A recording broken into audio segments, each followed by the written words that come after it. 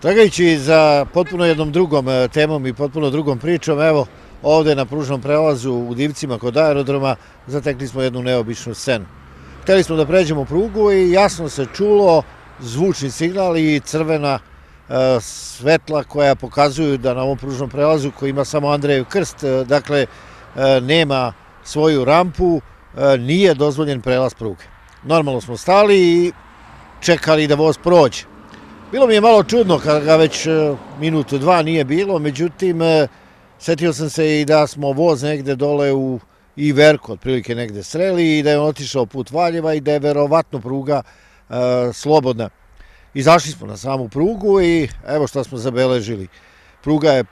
jednostavno prazna, nije voz ni naišao, e, puna dva minuta otprilike nije bio dozvoljen prelaz preko pružnog prelaza,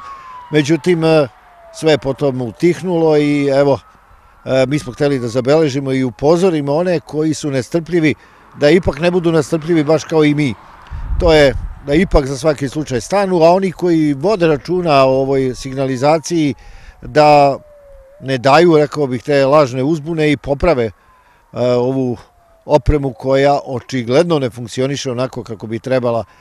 Nažalost, zamislite da se desi da ovako, ja bih rekao, pokvarena posle izvesnog vremena e,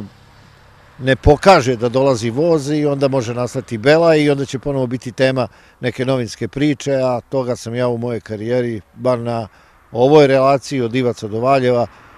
puno toga imao i da napravim i da ispričam i da pokažem i nažalost e, i prikažem.